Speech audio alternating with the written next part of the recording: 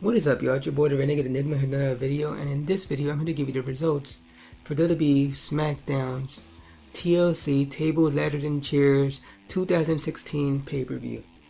And yeah, here we go, we're going to start off with the pre-show and like I said in my prediction video, they just was going to throw something together and whatever and that's exactly what they did. They put together a 10-man tag and that consists of the Hype Bros, Mojo Rawley and Zack Ryder teaming up with American Alpha, Chad Gable, and Jason Jordan, and they teamed up with Apollo Crews, and they went against uh, the Vaudevillains, Aiden English and Simon Gotch, uh, the Ascension, Connor and Victor, and they had Kurt Hawkins in their corner. Nothing really special in this match, you know what I mean? Like I said, they just threw it together and whatnot, you know what I mean? The only interesting thing that happened was they kind of hinted at Kurt Hawkins and Zack Ryder fighting, which didn't happen.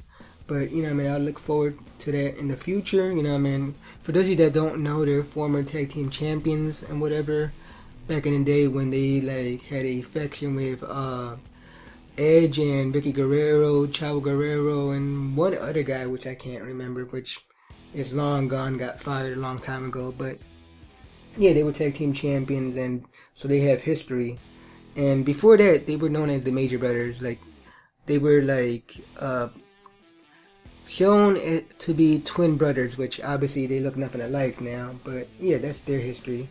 So hopefully they go with something like that later on. Uh, the end came when American Alpha hit their finisher, uh, Grand Amplitude, which I believe it's called. And they did this move to um, Simon Gotch, 1, 2, 3. Your winners are the Hype Bros, American Alpha, and Apollo Crews.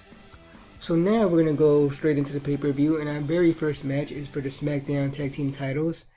That is Beauty and the Man Beast, you know, Heath Slater and Rhino, as they like to be called. They're putting the titles on the line against the Wyatt family, Bray Wyatt and Randy Orton that still kind of freaks me out to today.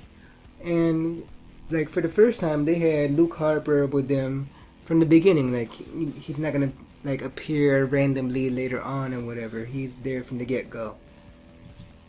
Pretty good match and whatever. The end came where Rhino and Randy Orton were fighting outside the ring and whatnot, right? Uh, Rhino's going for the gore and out of nowhere, Luke Harper pushes Randy out the way, basically sacrificing himself, you know, taking the bullet for Randy. Gore on, on Luke Harper.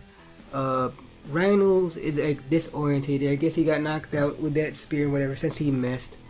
And like, uh, meanwhile, in the ring, you have Heath Slater with Bray Wyatt. Bray Wyatt's doing a spider walk. Uh, Heath Slater's distracted. Uh, Randy Orton runs in the ring and bam, RKO out of nowhere. One, two, three. Your winner and new SmackDown Tag Team Champions, the Wyatt family, Randy Orton and Bray Wyatt. Now the interesting thing is when they celebrated, they put the belts on Luke Harper's shoulders. So they're kind of hinting at them doing like uh, Freebird rules, you know, New Day rules and whatever. So I guess Luke Harper's gonna wind up being one of the tag team champions, and the added bonus maybe in the future, Eric Rowan might be part of this too, cause like he's gonna come back from injury really quick. So, you know, they're gonna like interchange the tag team championship within the uh, the family. You know, what I mean, Eric Rowan, Luke Harper, Bray Wyatt, and now Randy Orton.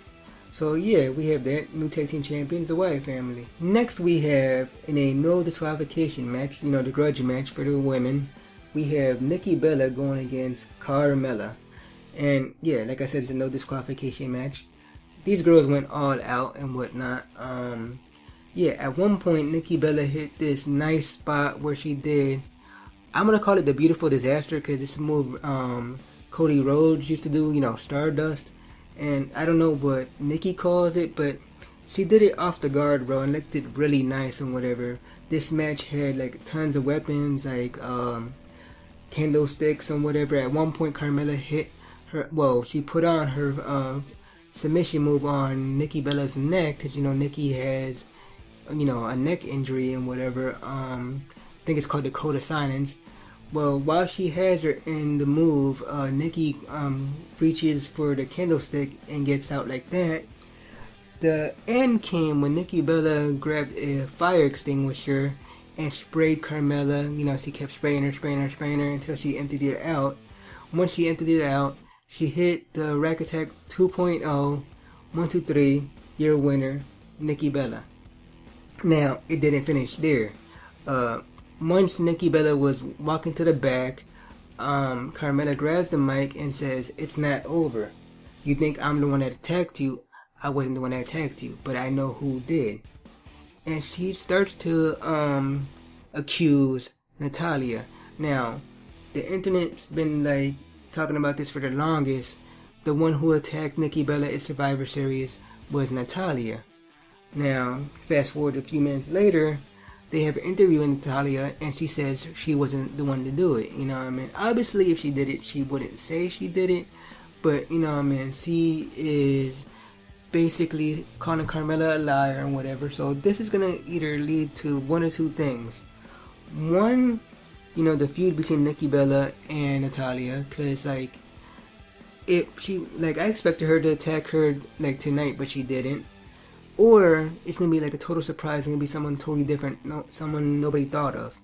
You know what I mean? So either way, Nikki's gonna have a new feud later on, and whatever, whether it be against Natalya or someone totally different. Long story short, uh, Nikki Bella won this match.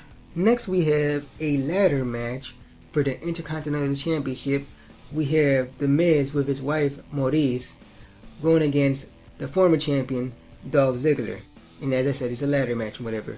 The way you win this match is you have to climb the ladder and get the belt. And yeah, like pretty good match.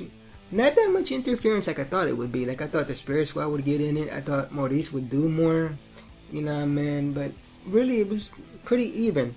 Uh the end came well around the end where Miz like reached for the belt and whatever and uh Dolph Ziggler took the ladder away and left uh Miz hanging there, you know, I mean he was dangling. Uh just like Jeff Hardy back in the day, like back in the um you know, his TLC matches and whatever. Well, Miz like slipped and fell and appeared to injure himself. You know, he's been saying for the longest to Daniel Bryan like he's never been injured his whole career. Like it seemed like he got a knee injury. But yeah, the end came where Miz put two ladders right next to each other and climbed both due to his injury and whatever. And uh, him and Dolph Ziggler were like battling on both ladders. And Miz basically took the cheap shot, low blow, kicked him in, like in the nuts twice, knocked him down, reached for the belt, got the belt, and yeah, your champion still is The Miz. At the end of the match, he basically said he dedicated the match to Daniel Bryan, basically, uh, you know, adding more fuel on the fire to their feud and whatever. So eventually, Daniel Bryan's gonna like hire someone to basically take out The Miz. Like, it's like it's no doubt about it. Like sooner or later, and it's gonna be a return or a new guy, maybe someone from NXT. But yeah, your winner and still champion, The Miz. Next, we have a chairs match, which I don't even know what the hell a chairs match is. They might as well have just made it a no holds barred match. You know, what I mean, basically it's Baron Corbin versus Kalisto, and chairs are legal. You know, what I mean, that is to say like everything else is not legal. But yeah, a ton of chairs in this match and whatever. And this match really didn't go the way I thought it would. You know, what I mean, of course Baron Corbin won. First of all, you know, what I mean, I knew that was gonna happen. But Kalisto basically took it to him throughout most of this match. You know what I mean? I thought it was going to be like a brutality, like, you know, uh, Baron Corbin was going to destroy him. Which he did at the end, but like, Kalisto like did a lot. You know, he did all these like crazy moves. Like at one point, he put six chairs in two rows in the middle of the ring, put Baron Corbin on top of those, and did a dive on him. Nice spot right there. But the end came where Kalisto did like some type of springboard move and uh Baron Corbin basically clotheslined him with the ladder, basically like knocking him the hell out, picked him up, and mind you, in the middle of the ring it was all these chairs. I want to say like maybe like 10 chairs. End of Days, boom, one, two, three, your winner, Baron Corbin. Now your next match is for the SmackDown Women's title. You have the champion Becky Lynch putting her title on the line against Alexa Bliss, and this is a tables match. For those of you that don't know, the way you win a tables match is putting your opponent through a table. Just as simple as that. Good match, you know I mean? Lots of like fake spots right there, like pretending to put somebody through the table, you know what I mean, and you don't. The end came where the girls were fighting on the apron, and there's a table right next to the ring. Alexa Bliss like rakes Becky's eyes and whatever, and like power bombs her through one of the tables, and your winner and new SmackDown Women's Champion, Alexa Bliss. Really happy for this girl, like she deserves it, whatever. Not that Becky doesn't, you know what I mean, but yeah, Alexa like deserves to shine, whatever. Hopefully they have a rematch, and hopefully it's like a good like one. Like hopefully they put some type of stipulation or whatever. But uh, yeah, your winner and new uh, SmackDown Women's Champion Alexa Bliss. And finally, we have the main event. We have for the World Heavyweight Championship, we have AJ Styles putting the title on the line against the former champion Dean Ambrose. Mind you, this is a TLC match, just like the pay-per-view. TLC, tables, ladders, and chairs. And yeah, I thought uh, maybe James Ellsworth would come in sooner. He did come in eventually, but I thought he would come in sooner. He came in later on, but this match was awesome. That's a great spot and whatever. Um, it was this awesome spot with AJ Styles putting um, Dean Ambrose on a table outside the ring, and he did a springboard 450 from the inside of the ring to the out. Really awesome. Um, the end came where um, AJ was climbing the the um, ladder, reaching for the belt. James Ellsworth shows up out of nowhere, distracts AJ, gives um, Dean Ambrose enough time to recover, and yeah, Dean Ambrose goes up to get the ladder. I mean, goes up to get the belt, and here's the betrayal. James Ellsworth betrays him, and like AJ goes up, gets the belt, your winner and still champion, AJ Styles. The interesting thing about it is on Talking Smack, you know, that followed right after the pay per view, James Ellsworth said he had no hard feelings toward Dean Ambrose, you know what I mean? He did it because he has a future opportunity to go against the champion. And according to him, he beat AJ Styles three times already.